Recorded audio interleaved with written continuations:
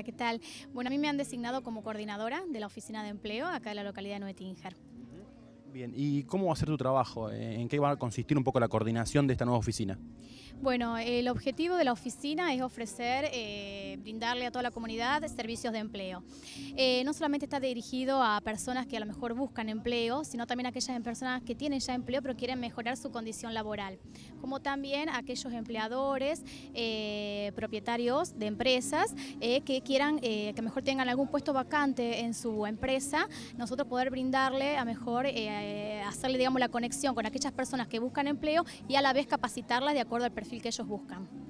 Qué bueno que ocupes vos este lugar, digo, porque estás en el área social del municipio, por ahí conoces la realidad del pueblo, las personas que por ahí necesitan de un empleo, ¿no? Sí, sí, se estuvo viendo eso también porque había mucha demanda de parte de la comunidad que siempre venían a, la búsqueda de, empleo, pero nos encontrábamos mejor con personas que a lo mejor no tenían terminado el secundario, entonces el objetivo de la oficina de empleo es también realizar derivaciones a instituciones que corresponden, ¿sí? Por ejemplo, eh, a lo mejor adolescentes que no han terminado el secundario, poder hacer la conexión con las instituciones, las escuelas que corresponden para que lo puedan hacer, ¿sí? Y después capacitarlo de acuerdo al perfil que los mismos eh, surja de las entrevistas que se van a hacer con el capacitador.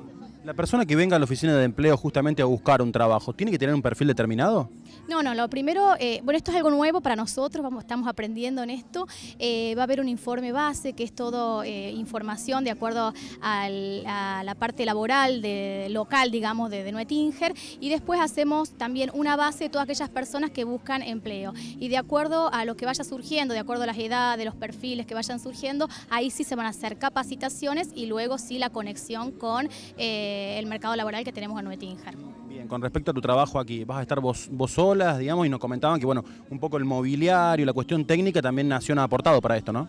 Sí, sí. Eh, bueno, yo voy a estar como coordinadora, pero voy a estar eh, trabajando de manera conjunta con Analía, eh, mi compañera, que ella va a estar como entrevistadora. También va a estar Evangelina Dichacho, que ella va a ser la parte de relacionista, trabajar más de todo con las empresas, los comercios, las instituciones de la localidad. Y también va a estar Karina Aymar, que ella también va a estar en la parte de capacitación y entrevista. ¿Cómo se han informado ustedes con respecto al funcionamiento de las oficinas de empleo en otros lugares de la provincia de Córdoba o del país? Mira, está dando muy buenos resultados. Nosotros tenemos muy buen contacto con la oficina de empleo de Belleville, como también eh, Morrison, que también hace un año que inauguró. La oficina de Belleville es un poco más vieja, así que nos vamos a entrar en contacto con ella. Y ya hemos estado trabajando en una oportunidad hace más o menos un año atrás con el programa Joven, Más y Mejor Trabajo, que logramos conformar una comisión de adolescentes para que puedan terminar el secundario acá en la localidad de Nuetinger. Y como nosotros no teníamos oficina de empleo, lo hicimos a través de la oficina de empleo de Belleville.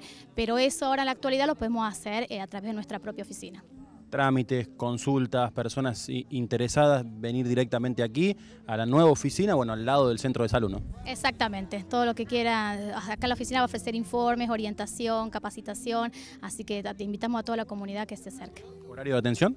Eh, va a estar de lunes a viernes y calculamos que va a ser entre las 8 y las 12 horas.